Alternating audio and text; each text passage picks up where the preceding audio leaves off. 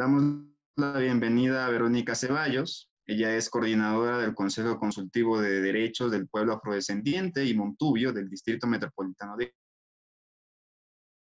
Quito, y tesorera de la Asociación Grupo de Pensamiento Afrodescendiente. ¿Cómo están? Muy buenas tardes con todos y todos. Eh, muchas gracias por estar aquí. Eh, voy a hablar un poco sobre la visibilización de la mujer afrodescendiente y es cierto como tal esa inclusión y también no solo de la mujer afrodescendiente, sino de las mujeres en general. Y esto es porque voy a enmarcarlo un poquito en esto. Ya de por sí, ser mujer eh, y tratar de incluirse y que sea, no sea incluida de una manera efectiva y verdadera, no es fácil y no siempre se da. Ustedes imagínense cómo pasa con una mujer afrodescendiente.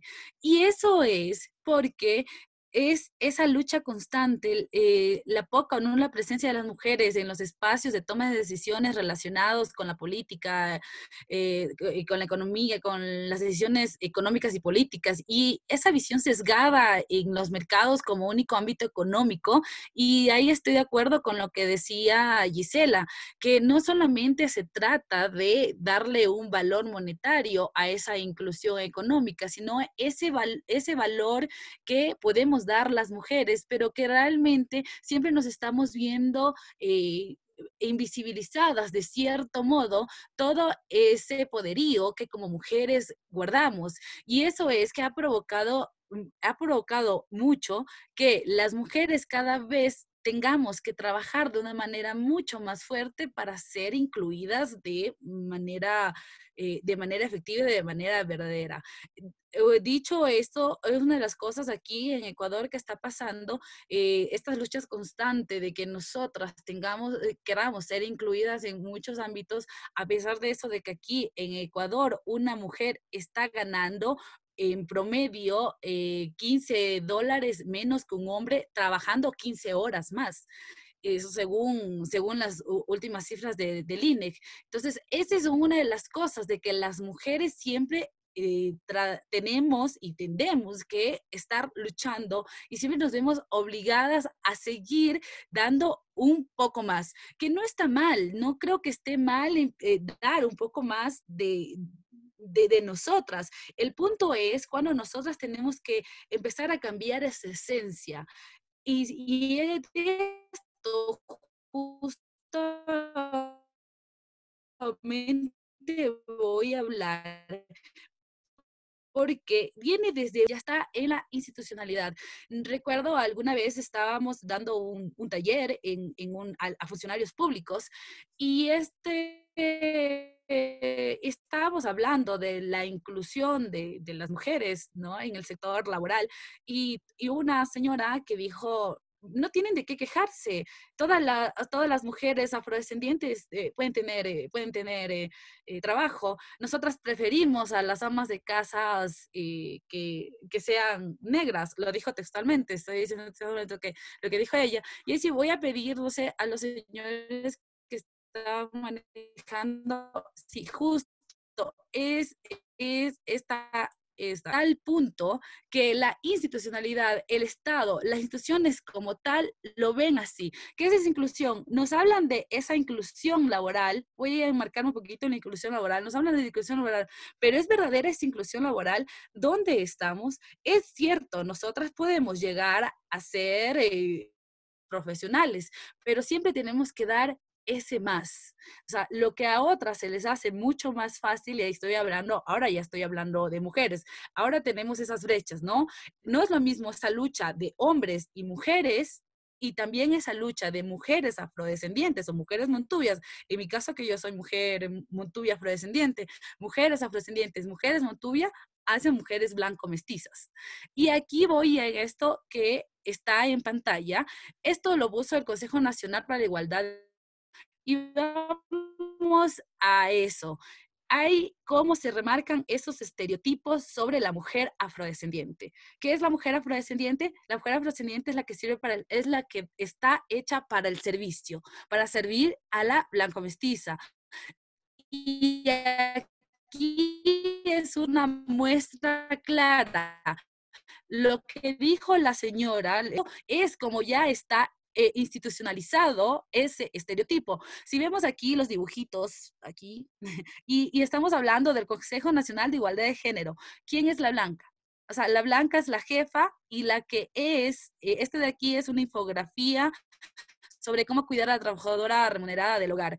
Y la afrodescendiente es la que es la empleada. Entonces, se ha creado este estereotipo de que las mujeres afrodescendientes solamente están para estos trabajos, e-, esos trabajos que se podrían decir que no tienen mucha relevancia. Entonces, una mujer abogada afrodescendiente tiene que el doble y el triple para ser reconocida esas son esas luchas que las estar desmitificando por inglés, ¿no? Antes, antes de, que, de que la RAE nos ponga una sola definición, el tuviera montarás, ¿no?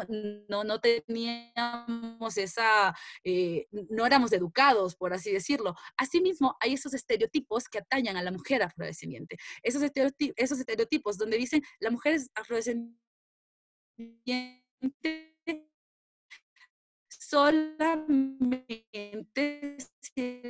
para ciertos trabajos.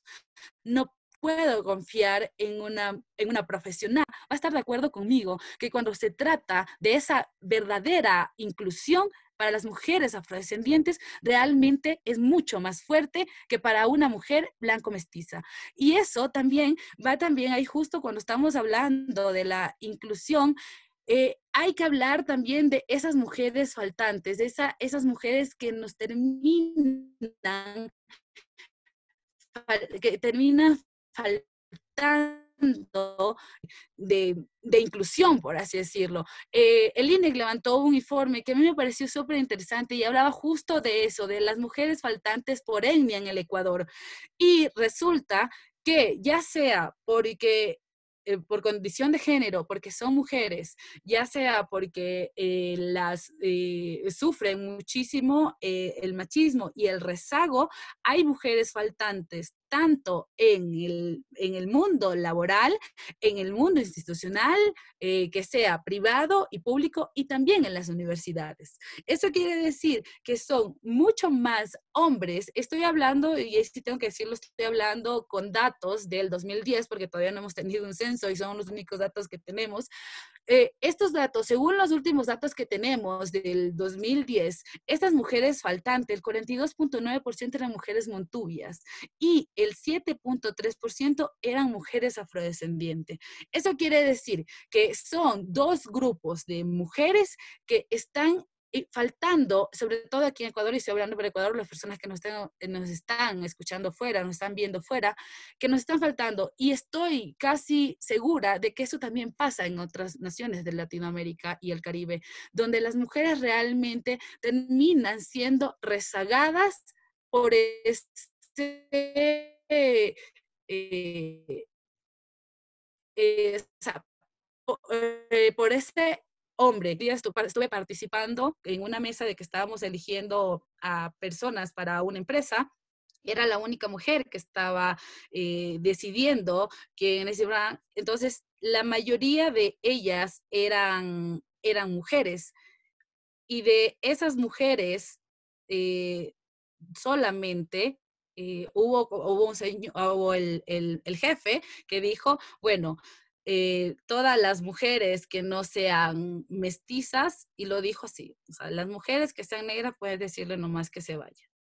Y yo lo estuve, yo lo viví. Eh, y eso es algo que pasa y es muy recurrente. Tal vez no se dice a voces, no se dice a gritos y no se sale a denunciar que en las entrevistas de trabajo le dicen al asistente si son afrodescendientes o si son negras, no las dejen entrar. Y eso es lo que está pasando.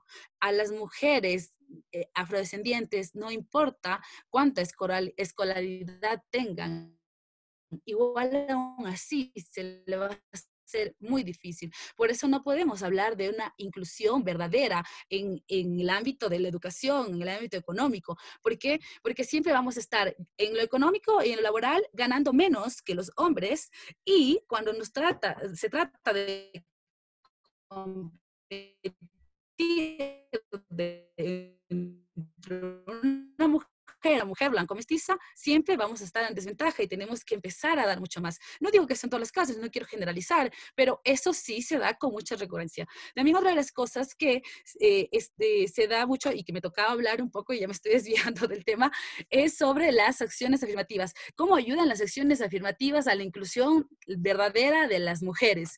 ¿Qué pasa con eso? Realmente las acciones afirmativas que tenemos en nuestras ciudades o que tenemos en nuestros países sirve, pues a eh, no hay mucho que decir. y tenemos una que